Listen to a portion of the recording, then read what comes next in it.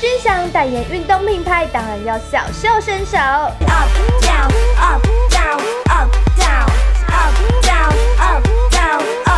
小美真是太帅了！当奶爸锻炼体力，最重要的当然就是照顾宝宝。记者最关心的还是小美的家庭生活。我就很爱亲她脸颊，但我女儿很爱，很讨厌人家亲她。对对对，她会一直闪。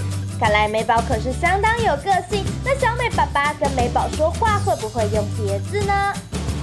示范一下，不太会，不太会。有了美宝后，小美也说自己的心境变了很多。就我发现现在开始，这个心境会越来越想要可能露营啊或什么。那我觉得可能等戏忙完之后，有更多时间可以带家人去露营，这是我，对对对，这是我非常向往的一个生活。也太羡慕美宝了，小美真是好爸爸。